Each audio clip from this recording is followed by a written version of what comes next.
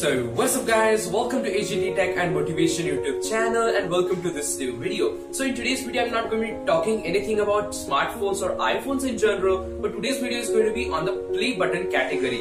We all know all three standard play buttons, you know silver play button, golden play button and the diamond play button. But we don't know there are five awards which YouTube gives and recently yesterday app uh, you know YouTube launched its fifth award and that is very exciting as PewDiePie and T-Series completed 100 million subscribers. So in today's video I'm going to be discussing what are these awards and on which basis or, or on which milestone do people get or the creators get these awards. First is the silver play button which everyone is familiar with and you get silver play button when your channel completes 100,000 subscribers. Next is the golden play button. The golden play button, uh, you know, a content creator gets when he completes 1 million subscribers.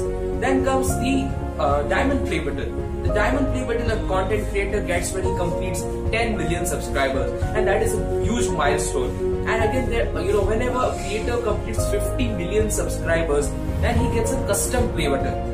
You know, like most of you are familiar with the PewDiePie's Ruby play button, which he called as Ruby play button, but its uh, official naming is custom play button. So just you YouTube ask the content creator that how you know which kind of trophy you want, and the content creator itself decides that which color, which shape trophy he needs, and then he also names that trophy. So that is you know you get a custom play button for 50 million subscribers. And let me tell you, you might think there are only two channels completed that, but that's not true. There are six YouTube channels which have completed 50 million subscribers. You might, you, you can even search it on Google and you will get their names, but there are six ones.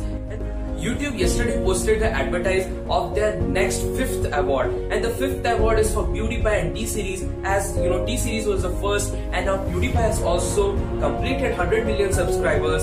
So guys the award is none other but it's called as Red Diamond Play Button. So what is the change and how they're going to be making this? I'm going to show you this small advertise by YouTube itself and hope so you also like it.